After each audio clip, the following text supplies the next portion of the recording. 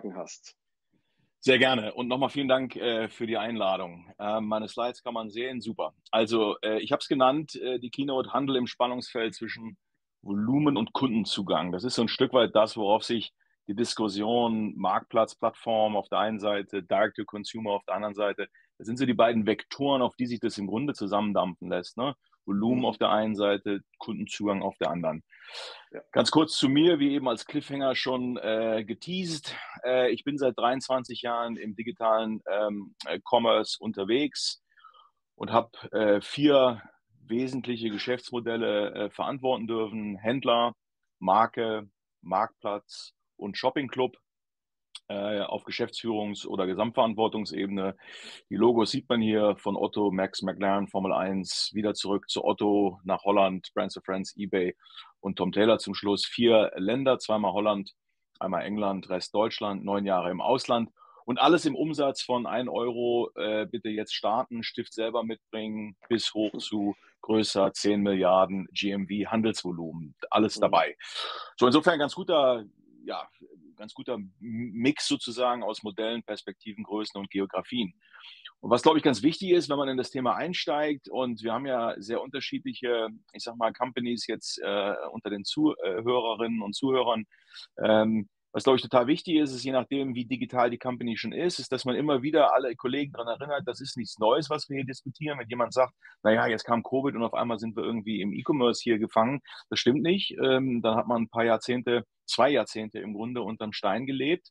Man sieht links die drei Kurven, Warenhaus, blau, klar seit äh, 2000 äh, rückläufig, schwarz, der stationäre Handel, klar seit 2000 flat, stagnierend äh, bestenfalls und die rote Kurve ist der Distanzhandel und natürlich zum Schluss äh, mit starker Dynamik dann äh, durchs E-Commerce. Äh, und rechts sieht man, was passiert ist. Alle Demografien haben sich, das sind die ganzen Linien nach oben, Altersgruppen, die jetzt aus Online-Shoppern, aus Online, aus Internetnutzern Online-Shopper werden ließen. Diese Altersgruppen, die jetzt angefangen haben, E-Commerce zu nutzen, alle Trendkurven alle Demografiegruppen, alle Cluster gehen nach oben. Und die orange untere, das ist ganz interessant, zum Schluss macht ihr nochmal so einen Sprung. Und das ist genau das, was äh, bei Corona jetzt passiert ist. Jetzt sind die mhm. alten äh, User, die haben jetzt auch notgedrungen natürlich ein Stück weit ähm, das E-Commerce ausprobieren müssen, haben festgestellt, es funktioniert. Zahlung funktioniert, Retouren funktionieren, ich kriege das Zeug, ich kann es auch zurückschicken, wenn es nicht gefällt oder passt.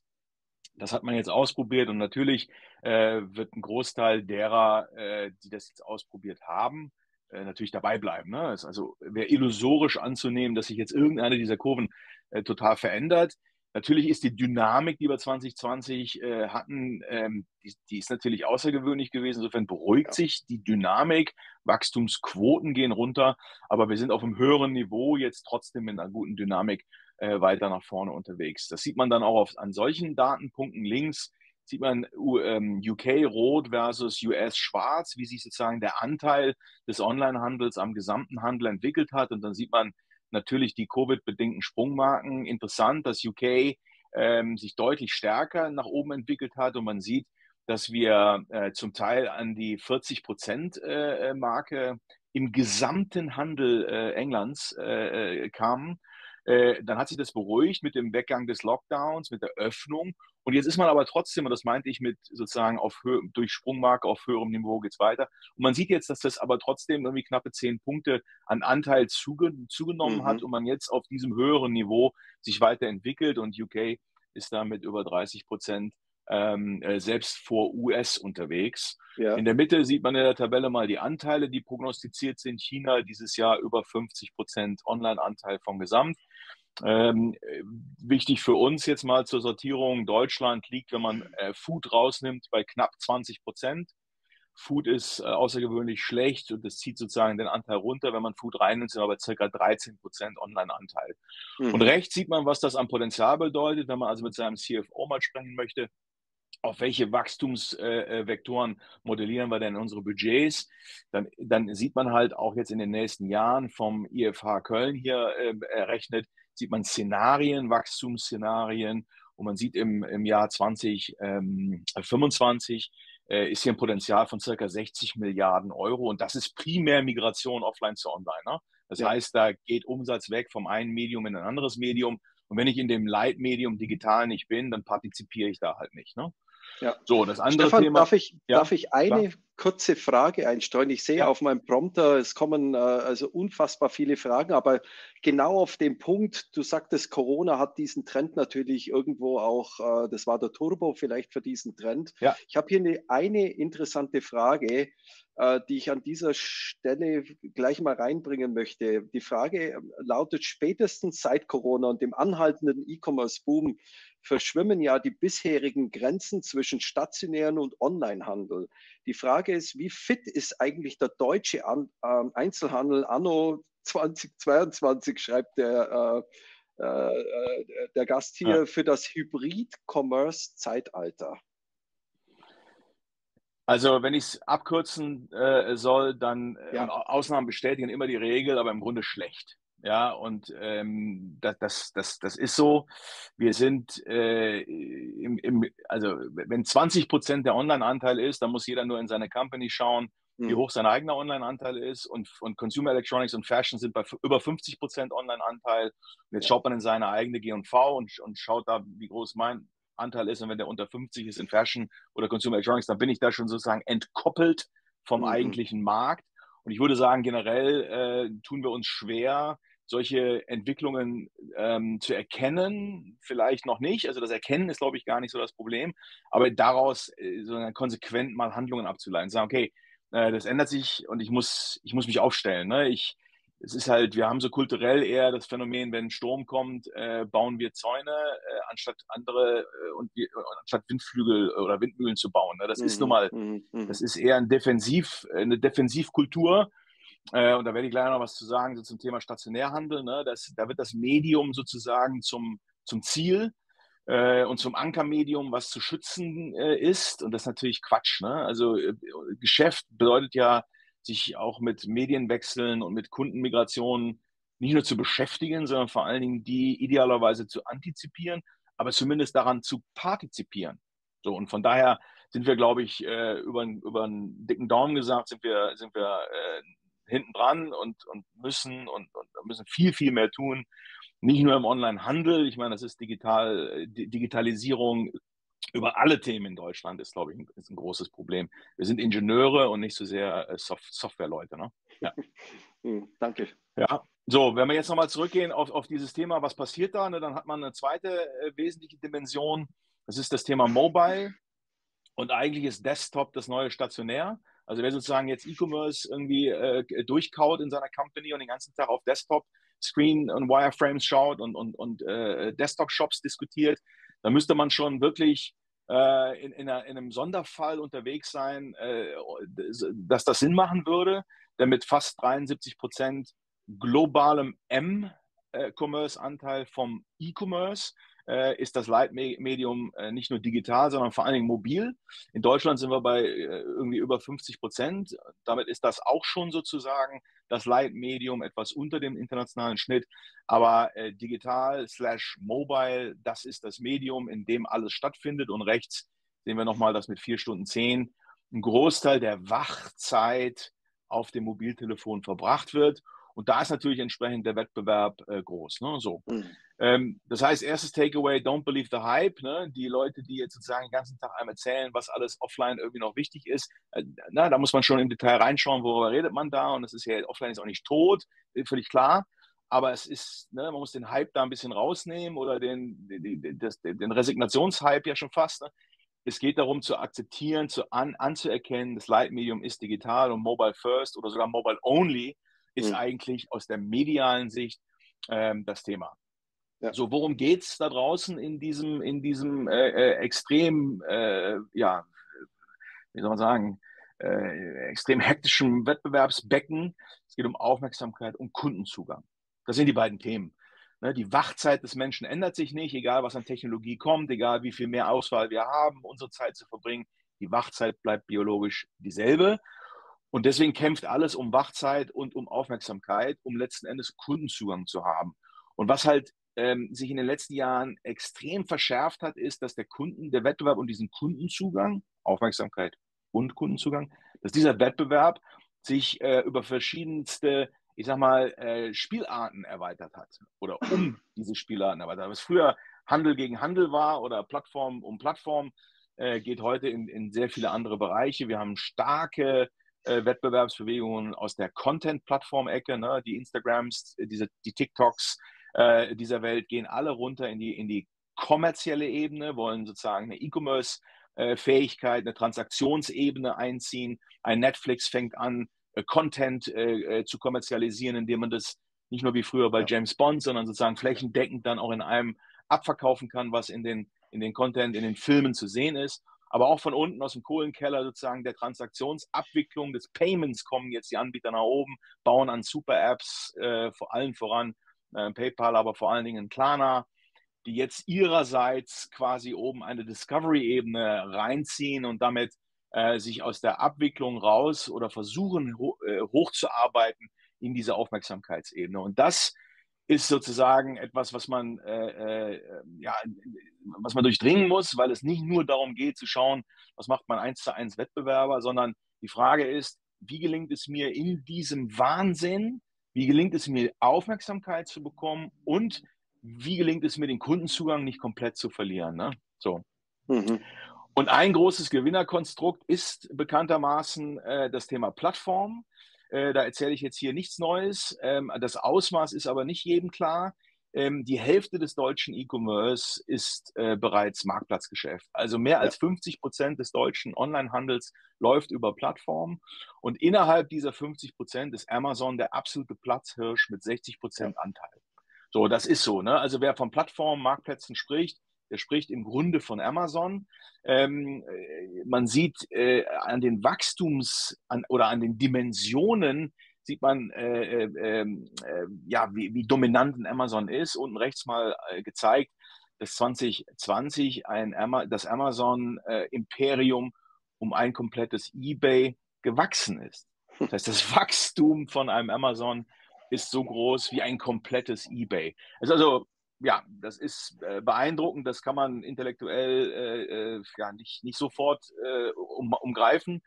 Aber Plattform heißt letzten Endes Amazon. Und weil das so äh, attraktiv ist, kommt natürlich eine, eine, Menge Auswahl an den Markt. Man sieht hier von den Kollegen äh, von Gominga und Ecom Consulting, wir haben 2020 diese Marketplaces Global Studie rausgebracht, haben sich die Mühe gemacht, mal zu zählen, was gibt es eigentlich und kommen da irgendwie auf knapp 500 Marktplätze. Da stand damals jetzt noch mehr. 170 in der Dachregion und in den letzten zwei Jahren hat sich das Angebot, ähm, in den letzten fünf Jahren hat sich das Angebot mehr als verdoppelt. Weil alle natürlich mhm. sagen, ja klar, Marktplatz ist das Modell, ich werde jetzt auch Marktplatz. Es gibt ja kaum einen Tag, wo nicht irgendwie was über den Ticker läuft, wer jetzt alles Marktplatz ist. Gefühlt ist ja jeder ernstzunehmende äh, Händler äh, äh irgendwie mittlerweile Marktplatz und jetzt fangen ja siehe H&M, jetzt fangen ja sogar Marken an und behaupten, dass das irgendwie ein sinnvoller äh, Strategiebestandteil ja. für Sie wäre. Ne? Ja. Stefan, darf ich dich an dieser Stelle, weil ich schaue natürlich mit einem Auge wieder auf die Fragen, die ja. reinkommen und wirklich an, an, Daniel schreibt hier, also ich verstehe, heute ist es eine ähm, Entweder-Oder-Strategie äh, oder äh, nee, heute ist es eine Entweder-Oder-Strategie, die eben keine Lösung mehr ist, sondern eher Webshop und Marktplatz ist also deutlich besser. Wonach soll der Händler oder die Marke deiner Ansicht nach entscheiden, ob sie zusätzlich zum eigenen Webshop auch einen Online-Marktplatz zurückgreifen sollen oder wollen oder müssen? Ja, ich komme da gleich nochmal drauf zu sprechen. Ich, ich glaube, okay. man muss stark unterscheiden zwischen Händler und Hersteller. Und ich glaube, ja. dass es für den Hersteller ein, ein, ein, sehr klares Bild ist, für den Händler ein, ein weniger klares, weil es schwierig ist ein Händler auf einer Handelsplattform ist so ein bisschen, als wenn ich meinen Tisch mit ins Restaurant selber bringe. Ja, mhm. da wird es schnell eng und äh, da findet man nicht, nicht so richtig einen Platz für. Äh, schon allein aus Margenlogik, ne? Da mhm. muss man aus der Handelsspanne Klar. auf einmal 15 Prozent äh, Provision bezahlen, plus Sichtbarkeitsmarketing. Äh, das ist kalkulatorisch schon eigentlich eine Mission, äh, die nicht fliegen kann. Ähm, da gibt es Sonderfälle und da kann man über, über Restposten und, und Überhänge und solche Themen sprechen, aber ich sag mal, jetzt ne, Schwarz-Weiß-Bild, Händler mhm. auf, auf Marktplätzen schwierig. Ähm, der Händler will ja eigentlich einen Kundenzugang haben, das ist sein, sein originäres Konzept, seine, seine Daseinsberechtigung. Und das gibt er ja komplett ab, wenn er auf dem Marktplatz ist und er kauft sich im Grunde nur Deckungsbeitrag. Den wird er aber schwer generieren können, weil die Margenstruktur das in aller Regel ihm gar nicht erlauben wird als Zwischenhändler. Deswegen und zeitgleich konkurrierend dann mit Herstellern auf derselben Plattform, ja. die mit einer größeren Marge ein anderes Pricing machen können. Also unheimlich schwierig für einen Händler. Aber ich komme gleich nochmal so ein bisschen auf die Tektonik nach vorne. Ne? Ich wollte okay. mit dem Slide nur sagen, es ist irgendwie äh, sozusagen, äh, jeder, jeder will Marktplatz werden. Ne? Wenn ich nicht mehr weiter weiß, bilde ich einen Arbeitskreis, hieß es früher, heute machen alle Marktplätze. Aber das, das Problem ist, dass das Thema Marktplatz ein sogenanntes Winner Takes Most äh, Phänomen ist. Das heißt, pro Kategorie gibt es nur eine kleine Handvoll an Marktplätzen, ähm, äh, die, die überleben werden, weil das aus User-Sicht äh, sinkt der Grenznutzen äh, rapide mit jeder weiteren Plattform. Mhm. Und für die Plattform wird der, wird der, werden die Grenzkosten als Nummer drei, vier und fünf werden, werden äh, prohibitiv äh, äh, teuer und hoch. Äh, das, das, das fliegt nicht. Deswegen pro Kategorie, General Merchandise, Fashion, Consumer Electronics, was auch immer, pro äh, Vertical oder pro Kategorie gibt es eine, eine, ganz kleine Handvoll Gewinnern. Und man sieht hier mal die, die Handelsvolumina und die Größen äh, auf GMV-Basis links abgetragen, um mal so ein Gefühl dafür zu bekommen, wenn wir aus der deutschen Perspektive über Plattformen sprechen, äh, was das sozusagen an, an, an unterschiedlicher Skala bedeutet zu den großen internationalen, aber rechts auch mal für Deutschland abgetragen. Das ist vom Kollegen Marc Steyer, der macht jetzt so einen, so so einen Traffic Report irgendwie aus Similar Web. Klar hat das, hat das äh, methodische Nachteile, aber es ist ein systematischer Fehler, deswegen darf man da gerne mal drauf schauen. Und dann sieht man mal, dass zwischen Nummer 1 Amazon und dann Nummer 2 eBay schon fast Faktor 3 liegt zugunsten Amazons.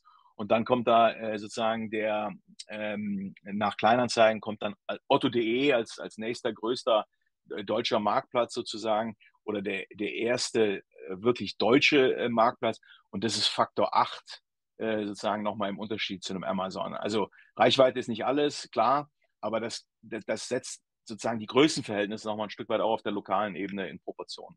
So, das heißt, ne, nächstes, nächstes Takeaway, aus meiner Sicht kann es heute nicht allen Ernstes eine Strategie in der Company geben ohne eine Plattformkomponente.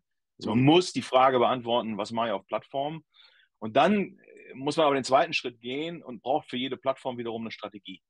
Es ist eben nicht so, dass man einfach irgendwie ein Produktdatum hochlädt und dann fliegt der Umsatz einem nur so um die Ohren. Äh, beileibe nicht, das wisst ihr besser als ich, ja. ähm, sondern es ist richtig Arbeit, da ist, das ist Daytrading.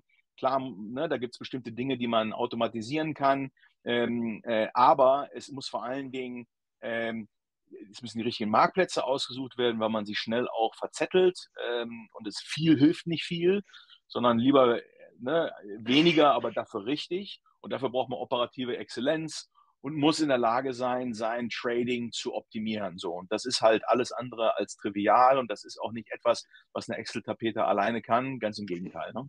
Ja. So. Ähm, was passiert draußen eigentlich äh, in Sachen Tektonik? Und da sieht man eigentlich zwei wesentliche Dinge. Auf der einen Seite sieht man, dass ähm, die Händler, die, die erfolgreichen Händler, die zur Plattform wurden, ein About You, die sehr schnell die von Anfang an im Grunde als, als Marktplatz slash Plattform angefangen haben. Und Zalando als Händler angefangen, sich dann zur Plattform erweitert vor einigen Jahren. Diese, jetzt ein Otto, diese Händler, die heute Marktplatz slash Plattform sind, die skalieren nach vorne vor allen Dingen ihr Marktplatzmodell. Und das sagt man immer so schnell, aber realisiert gar nicht, was das heißt. Das heißt, dass ihr Wholesale, ihr eigener Einkauf zurückgefahren wird in Relation. Das ist also die größte Wachstumsdynamik aus der Sicht eines Zalandos, About You, About Yous oder Ottos, die größte Wachstumsdynamik liegt bei denen im Marktplatz und damit nicht im eigenen Einkauf. Und das heißt für den Hersteller, Wholesale-Geschäft geht runter. Hm. Und das heißt umgekehrt auch, dass wenn man auf diesen Plattformen verkaufen will, dass man als Verkäufer auf diesen Plattformen agiert. Und damit ist man quasi in einem Direct-to-Consumer-artigen Modell ähm, und muss auf diesen Plattformen selber als Verkäufer sein Daytrading machen versus früher Paletten, Wholesale, ne, große Paletten hinschicken und dann abrechnen und fertig ist. So ist es äh, nach vorne nur für die wenigsten. Die Marken werden sehr selektiv, äh, die, die, die Plattformen werden sehr selektiv die eigenen Läger belasten, die eigene GV sozusagen mit Risiko, mit Warenrisiko belasten. Das wird sehr selektiv, nur für, den, äh, für, für das exklusivste, beste, schnellste, GV-relevanteste Und der Rest, das wird alles in Verkäufermodelle äh, äh, umgestellt und damit äh, ist man Verkäufer auf diesen Plattformen und das ist was ganz anderes als vorher im Wholesale-Modell. Und dann sieht man auf der rechten Seite, und das ist natürlich, das, das äh, unterstützt sich gegenseitig, Hersteller ihrerseits gehen sowieso schon in dieses Direct-to-Consumer-Modell. Warum? Weil da Marke, Marge und, und Unabhängigkeit auf sie wartet. Ne, sie verstehen schon, dass es irgendwie nicht hilft, wenn ich irgendwie komplett von Plattformen und, und äh, Dritten abhängig bin. Ne? Ähm, weil da kann ich meine Marke nicht so spielen, wie ich das äh, auf Dauer ja eigentlich muss, damit mir dieses, diese Begehrlichkeitsspirale nicht abreißt. Ne? So, ähm, natürlich wird die Marge auf Plattformen tendenziell gegen Null gehen. Ja, weil je größer die Abhängigkeit, äh, desto stärker werden die, die Stellschrauben angezogen werden. Äh, und da muss man sich nur mal mit der Amazon-Community äh, länger beschäftigen. Ne? Wer da lange erfolgreich viel Umsatz macht, ähm, den muss man mal interviewen, wie sich die äh, sozusagen Konditionsverhandlungen gestalten. Ne?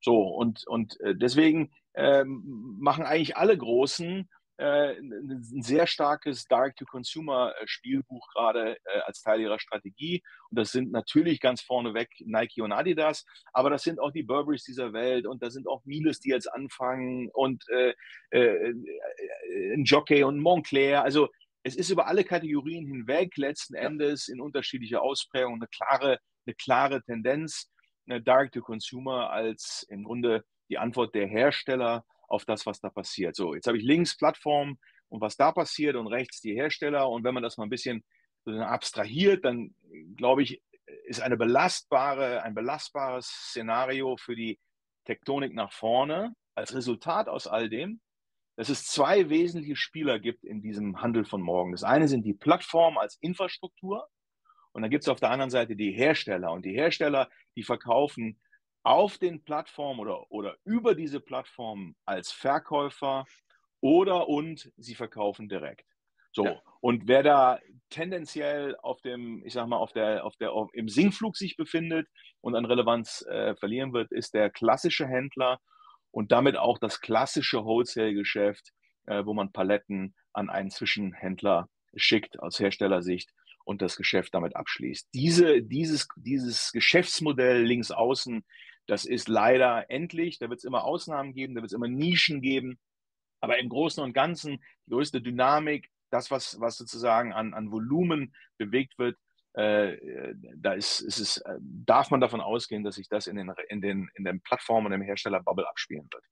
Ja. So, das heißt, ne, Quintessenz Direct to Consumer wird das dominierende Modell sein und zwar sowohl auf Plattformen und oder als auch äh, für die eigenen Touchpoints. Und deswegen ist dieses Thema Direct-to-Consumer-Fähigkeit missionskritisch. Das ist eine Kernkompetenz für Organisationen und für die meisten ist es ein Pivot. Die meisten sagen, ah, da hinten hole ich mir ein Marktplatzteam, setze da zwei Leute und einen Hund hin. Ähm, und aber 100 Leute springen im Wholesale-Team nach wie vor rum, obwohl die Tektonik nach vorne eine andere ist. Und wer eine Wholesale-Company ist und glaubt, Direct-to-Consumer und Marktplatzgeschäft ist irgendwas, was der Azubi freitags nachmittags macht, der hat einfach noch nicht verstanden, was hier passiert. Es ist ein Pivot man muss die, die Company auf das vorbereiten oder ja, man ist ja jetzt schon spät dran, das ist ja schon Realität. Man ist jetzt schon spät dran und man muss deswegen pivotieren und, und vernünftig investieren, sonst ja. ist man schneller raus aus dem Business, als man denkt. Ja. So. Stefan, an dem Punkt, äh, ich unterbreche dich wirklich äh, ja. ungern, weil es super interessant ist, aber ich kriege jetzt gerade eine auch sehr, sehr passende und interessante Frage von äh, Manuel an dich. Die Frage ist, siehst du in Deutschland oder generell in Dach auch noch eine Lücke? Wir haben ja gesprochen, diese Marktplatzdynamik und so weiter. Siehst du noch eine Lücke im Bereich Marktplatz DIY? Siehst du auch hier noch Potenzial? Beispiel Obi, Bauhaus, Hornbach und so weiter und so fort. Wie ist die, wie ist die, äh, ich sage jetzt mal, der Fortschritt in, der, in dem Marktplatzwettbewerb? Player, die kommen werden aus deiner Sicht, die sich vielleicht gerade am Entry-Level äh, befinden und sich entwickeln. Wie ist deine Einschätzung? Also jede Kategorie hat schon äh, ähm, sozusagen Marktteilnehmer äh, in unterschiedlicher Qualität.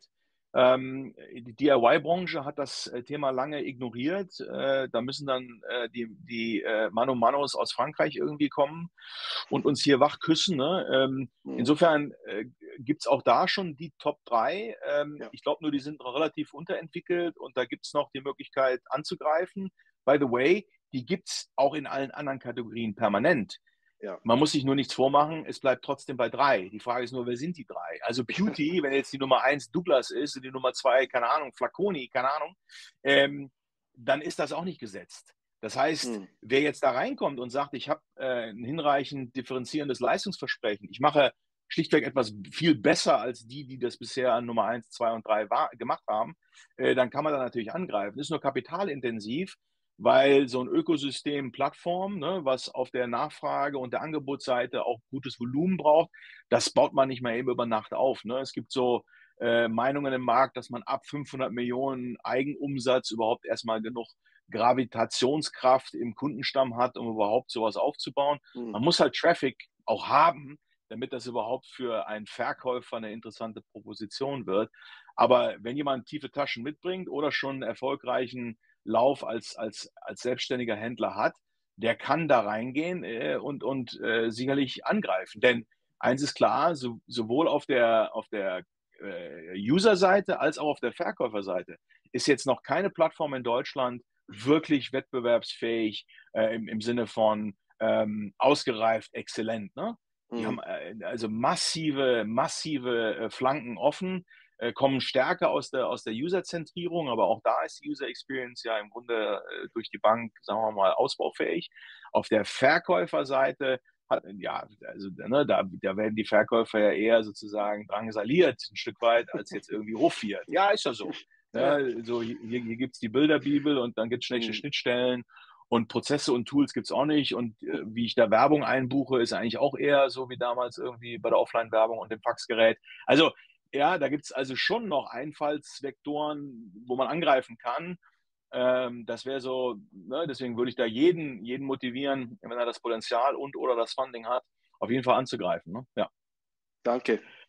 Zur, zur, zur äh, Wahrheit gehört aber auch, dass Performance auf den äh, Marktplätzen kein Selbstläufer sind. Äh, äh wichtig, die Regeln der Physik beachten und vor allen Dingen je nach Plattform oder im, je Plattform äh, individuell optimieren. Wir haben explizite Marketingkosten aus Provision und Werbung für Sichtbarkeit. Wir haben implizite Marketingkosten, weil man genötigt wird, äh, nett, aber sehr bestimmt, dann auch das Fulfillment bitte zu benutzen, damit die Service Levels irgendwie gehalten werden. Wir haben ein Artikelwarenkörbe aus der Seller-Sicht, nicht aus der Plattformsicht, aber aus der Seller-Sicht ist jede Bestellung im Grunde äh, mit, mit einem Artikel nur bestückt und das ist äh, für die Logistik schwierig, weil die Logistikkostenquote zum Bestellwert äh, prohibitiv schlecht wird. Und wir haben in der Regel höhere Retourenquoten auf den Marktplätzen. So, wenn ich das in so eine G&V kippe, wir gehen das jetzt nicht alles durch, aber das sollte man mal machen. Ne? Ich muss ja eigentlich äh, wenn ich da nicht aus, aus reinen Sichtbarkeitsgründen bin und äh, äh, ich sag mal, Betriebswirtschaft egal ist, dann muss ich es ja schaffen, einen positiven Deckungsbeitrag 2 äh, zu erzielen. Und das muss ich vor allen Dingen auf jeder Bestellung äh, schaffen, weil ich halt kein Kundendatum generiere, um dann ein Customer Lifetime Value zu provozieren, sondern ich habe eine Transaktion, die Transaktion wird abgerechnet und that's it. Und die muss ja eigentlich äh, äh Deckungsbeitrag 2 positiv sein, das heißt nach Abzug der Marketing- und Logistikkosten. So, wenn ich das mal in so eine Mini-G&V reinkippe mit Open Average Order Value, exklusive Mehrwertsteuer beginnend und dann runter bis, zum C bis zur Contribution Margin 2 das mal durchrechne, dann habe ich halt sofort das Problem, das sieht man in der mittleren Spalte, Direct-to-Consumer auf dem Marktplatz. Ich habe eine höhere Retourenquote, ich habe nur ein Item per Transaction in Rot 1 und schon bin ich unten mit einer, mit einer, äh, mit einer roten Zahl äh, unterwegs. So. Das heißt, ne, ganz rechts die Spalte, ich muss eigentlich über den Average Selling Price, also den durchschnittlichen VK, oder über die Optimierung der Retourenquote, ich muss jetzt anfangen, an den Themen zu arbeiten, damit mhm. ähm, eine, eine Transaktion äh, DB2 positiv werden kann. Und das, mhm. deswegen ist dieses Thema Marktplatzmanagement alles andere als jetzt nur irgendwie was für die Nerds, Überhaupt nicht. Das ist eine absolute Basisanforderung. Ja. Und man kann eben nicht alles hochladen, was ich irgendwie im Produktfeed habe. Denn wenn ich hier ein, ein Average Order Value von, von man sieht es ja hier, von unter 34 Euro einspeise, dann mache ich einen Verlust. Ja, wenn die anderen Parameter richtig sind. So, und das, das muss man halt berücksichtigen. So. Ja, Performance ist kein Selbstläufer. Äh, das ist auch eine äh, interessante Frage an diesem Punkt. Ich glaube, das kann man auch äh, recht schnell gleich wieder zusammenfassend ja. beantworten. Also die Frage ist, welche Auswirkung kann die Nutzung des digitalen Marktplatzes auf das gesamte Geschäftsmodell eines Einzelhändlers haben? Ich glaube, du hast es schon in, in etwa ähm, äh, beschrieben, aber in der Nutshell für dich nochmal zusammengefasst, was ist die Message? Also als Händler, ganz im Ernst, ist nicht das Problem, ist, die, ist nicht die größte Frage, was mache ich auf dem Marktplatz. Als Händler ist die größte Frage, was ist meine Daseinsberechtigung. Mhm. Das heißt, ich brauche ein, eine, eine wertstiftende, andersartige äh, äh, Differenzierung. Ich brauche ein Leistungsversprechen, was differenziert. Ja. So, und der Händler, viele Händler kommen äh, gedanklich aus der, aus der Offline-Welt, wo Gebietsschutz Differenzierung war. Ja, was ich hatte, gab es geografisch nur in der Nähe, äh, da gab es in der Nähe nicht nochmal. Und damit war, das, damit war das differenzierend. Das ist vorbei. Und viele haben aber auch 20 Jahre nach äh, Internet äh, Go Live äh, immer noch nicht bemerkt, dass das halt äh, äh, nicht mehr der Fall ist. So, und die Frage muss beantwortet werden, was ist mein Leistungsversprechen? Inwieweit, was kann ich besser als alle anderen? Austauschbare Ware äh, zu einzukaufen, um sie mit dem Aufschlag zu verkaufen, das Modell ist tot. So, weil alles transparent verfügbar ist, alle Preise, irgendwo gibt es immer einen, der billiger verkauft, alles wird mir nach Hause geschickt. Das heißt, da wird schwer ein Start mitzumachen sein. Deswegen muss Differenzierung rein, muss Leistungs, muss Services, Content, Community, was auch immer es ist. Ich muss mir, ich muss mir die Frage gefallen lassen, warum soll es mich geben? Und wenn ich die beantworte, dann ist der Rest eigentlich äh, äh ziemlich einfach, weil äh, Relevantes äh, fliegt schnell und gut über alle Kanäle, die von Relevanz wiederum sind. So. Und deswegen würde ich das nicht mit dem Medium anfangen, nicht mit dem Vertriebskanal, das ist kein Distributionsproblem, sondern es ist beim, beim Händler vor allen Dingen ein Problem des Leistungsversprechens. Wenn ich das gelöst habe, ist, ist die Multiplikation in Kanäle leicht. Mhm. So, letzter Satz zum Thema äh, Plattformmanagement. Es ist, wie wir eben gesehen haben, cross-funktional, es ist end-to-end. Es fängt mit der Sortimentierung an, Preisarchitektur, Produktdatenbestände bis Marketing und Fulfillment.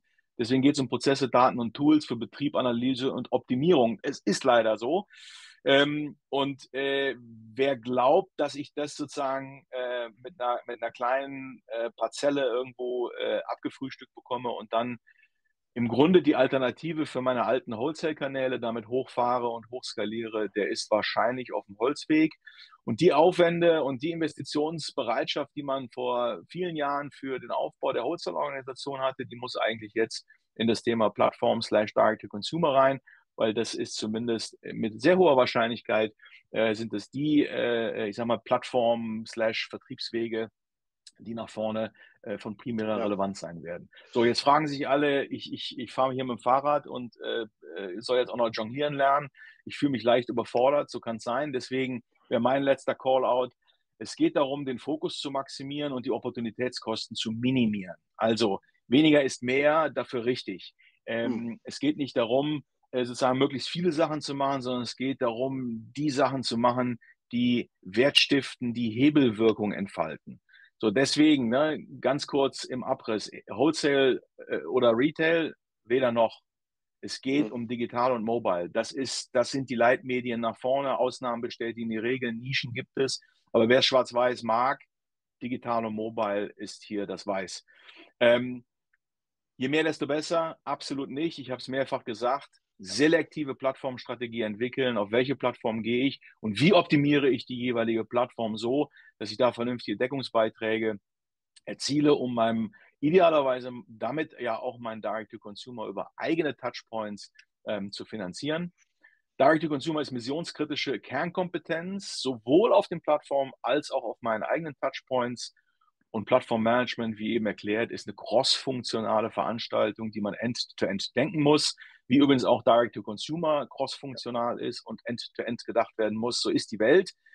Da äh, haben die einen oder anderen aus den alten Generationen noch ihre Schwierigkeiten mit, aber ähm, äh, dennoch, so ist es leider. Und bevor alle in Schockstarre äh, und Komplexität äh, erliegen, klar, klare, klarer Call-out, just do it, anfangen, erste Schritte gehen, schnell, schnell Dinge tun, lernen, messen, analysieren um dann im Zweifel die, die Richtung wieder anzupassen. Aber äh, man darf sich nicht äh, äh, ja, überwältigt fühlen äh, von all dem, was auf einen einprasselt. Man kann sich Hilfe holen. Wichtig ist, dass man was tut, äh, denn wer stillsteht, wird abgehängt. Und deswegen kann ich nur raten, nutzt auch hier solche Netzwerke, redet mit den Leuten und ähm, äh, schaut zu, dass ihr möglichst schnell auch die Testballons dann auf die Straße bekommt. Ne? In ja. dem Sinne, ähm, wer sich melden möchte und das weiter diskutieren will, kann jetzt sein Handy rausholen, den QR-Code abscannen, ist dann schon gleich connected oder meldet sich im Nachgang oder natürlich auch beim Oliver, völlig klar. Wir diskutieren das gerne auch nochmal offline ähm, und setzen die Dialoge fort. Vielen Dank. Wunderbar, Stefan. Sensationelle äh, Zusammenfassung am Schluss auch. Äh, ich glaube, es ist wirklich so, dass man sich von dieser Komplexität. Wir haben heute viele Themen angesprochen, dass natürlich Marktplätze auch unterschiedlich performen, unterschiedliche Regeln haben, unterschiedliche Märkte und Nischen bedienen, äh, dass man das heute alles natürlich über ein äh, technologisches äh, Plattformlösung auch managen kann, äh, auch vor der Komplexität nicht in die Knie gehen muss. Da hat auch Alexander drüber gesprochen, dass dieses relativ kleine Unternehmen performt heute in, in sechs sehr wichtigen europäischen Ländern, managt das mit einem Team von zweieinhalb Leuten. Also es ist machbar. Man braucht hier äh, den Austausch. Das ist auch das, was Stefan richtig zusammenfasst mit äh, Spezialisten. Man soll nicht davor äh, sich scheuen, mit diesem Thema auseinanderzusetzen ähm, und dann auch in der richtigen Dosis den ersten richtigen Schritt machen, weil der Zug fährt. Ähm, äh, der ist schon längst dabei, den Bahnhof zu verlassen, hier äh, sich erst zu überlegen, aufzuspringen, wäre der falsche Ansatz. Ich glaube, da ist man schon zu spät dran, weil diese Dynamik äh, wird sich nicht mehr ins Gegenteil verkehren. Ganz im Gegenteil. Ich meine, die insgesamte äh, äh, geopolitische Lage und auch natürlich Pandemie und all das haben wir angesprochen, befeuert natürlich auch dieses, äh, diesen digitalen Konsum, dieses Direct-to-Consumer. Und äh, wir sind gerne bereit, äh, mit euch allen, mit unseren Gästen, das weiter zu vertiefen und zu diskutieren. Stefan als äh, absoluter Fachmann für wirklich diesen Bird View, da ist er wirklich hervorragend und da schätze ich ihn auch als echten Spezialisten äh, für diesen diesen Markt sehr und deswegen freut es mich heute auch, Stefan, dass wir dich äh, äh, gewinnen konnten für diese super interessante Diskussion. Wir haben äh, einen Haufen technische Fragen auch bekommen und ich bitte um Verständnis, dass wir diese Fragen äh, gerne im Nachgang, wir haben äh, auch hier die ähm, Adressaten, dass wir die im Nachgang äh, beantworten dürfen. Das würde jetzt natürlich auch die Komplexität dieses Webinars ein bisschen sprengen. Und äh, an dieser Stelle äh, würde ich sagen, lassen wir es nee, ich bekomme noch eine Frage rein, die ist, äh, ja, es ist nochmal vielleicht ein äh, kleiner Sprung zurück. Ich bringe sie trotzdem nochmal rein, weil wir noch zwei, drei Minuten äh, Zeit haben, Stefan. Ähm, die Frage vom, vom Patrick hier ist, welche Vorteile und Möglichkeiten bieten die Verknüpfung des lokalen Business mit eigenem D2C äh, äh, Webshop, und oder dem zusätzlichen Stream oder äh, Verkauf äh, dieser Produkte eines digitalen Marktplatzes wie Amazon und Co. Also ich glaube, das zahlt, zahlt generell nochmal auf dieses soll ich es wagen oder äh, auf, genau auf diese, vielleicht auf diesen Wrap-up ein. Deswegen ja. wollte ich das jetzt nochmal bringen. Ja, ist eine gute Frage. Ähm, und äh, ich würde das so, so beantworten. Die erste, also das Wesentliche ist, sich darüber im Klaren zu werden, worum, worum geht es mir denn eigentlich? Also was, was, was will ich denn schaffen? Und wenn ich Omnichannel höre, dann äh, habe ich das Gefühl, dass in den meisten Fällen das eigentlich mittlerweile nur ein Chiffre ist hm. für den Erhalt des äh, Ankermediums des Herzens. Und das ist bei den meisten der Stationärhandel. Und wenn sozusagen ähm, man mit der Prämisse reingeht, das Ankermedium des Herzens zu erhalten, also meine Läden, dann ist das äh, aus meiner Sicht eine falsche Fragestellung, aber eine völlig legitime, das kann ja jeder für sich machen. Aber dann äh, ergibt sich sozusagen aus dieser Fragestellung, ergeben sich dann konzeptionelle Lösungen. Wenn es mir aber darum geht, ähm, äh, den eigenen Kundenzugang äh, zu skalieren, zu optimieren, Customer Lifetime Value als strategisches Asset zu sehen, und sozusagen äh, das, das zu optimieren, äh, dann ist das eine ganz andere Fragestellung. Fragestellung. bis hin zur, zur, zum dritten Szenario, ich möchte eigentlich nur Deckungsbeitrag generieren, weil ich keinen, keinen, keinen strategischen Mehrwert im eigenen Kundendatum sehe und ich möchte eigentlich nur äh, Deckungsbeiträge mhm. äh wirtschaftlich generieren. So, das sind drei sehr verschiedene sozusagen Zielsetzungen und so sind auch dann die Antworten. Ne? Wer also mhm. Ankermedium des Herzens den, den, das Ladenlokal erhalten möchte, der macht jetzt möglichst viele Omnitricks und macht irgendwie prohibitive Versandkosten-Policies, äh, die dann die Leute irgendwie in den Laden nötigen und, und macht bestimmte Zahlungsarten nur im Laden und hat dann mit der Brechstange sozusagen im Zweifel äh, die Leute äh, vom, vom Medium, vom Leitmedium digital ins, ins, in, in den Laden geholt. Das wäre dann. Das wäre dann das, ne? so würde ich von abraten, aber das wäre dann folgelogisch. Ähm, die, die den, den Kundenzugang äh, als, als strategischen Wert erkennen, die brauchen natürlich eigene Touchpoints, die werden sich mit ganz stark mit der Frage sozusagen äh, Mobile First, Mobile Only, wie kriege ich sozusagen meine Kundenakquisitionskosten in den Griff, wie kriege ich vor allen Dingen mein CRM aufgebaut, dass ich über Wiederkäufe in eine Marketingkostendegression reinkomme und auf diese, auf diese Akquisitionskosten im Grunde äh, äh sozusagen profitable, eine profitable Kundenbeziehung aufbaue, um die dann äh, äh, zu refinanzieren. Und die Dritten, die die, die Deckungsbeitrag generieren wollen, die sind natürlich äh, äh, super beraten, sich mit den Online-Plattformen äh, primär zu beschäftigen oder ausschließlich sogar zu beschäftigen, weil da das größte Volumen ist, das ist die größte Wachstumsdynamik. Dann gehe ich sozusagen all in auf, auf Plattformen und versuche da äh, ja, optimale, eine optimale Bewirtschaftung, Bevorratung, Selektion, Marketingkampagnen auf den Plattformen zu machen, ähm, so gut das die jeweiligen Plattformen anbieten. Insofern sind das, glaube ich, diese drei Anwendungsfälle, die man da unterscheiden müsste. Und, und der erste Schritt ist, sich darüber im Klaren zu werden und sich nichts vorzulügen, worum es mir eigentlich geht. Ne? Mhm. Super, ich glaube, äh, auch unseren Gästen ist heute klar geworden, warum äh, Stefan Wenzel natürlich äh, in diversen Boards heute als Advisor genau für diese Themen, auch mit dieser ähm, mit diesem Know-how der Komplexität der Zusammenhänge äh, gefragt wird, wenn es um die grundsätzlichen Fragen, um die Strategie-Challenge äh, geht.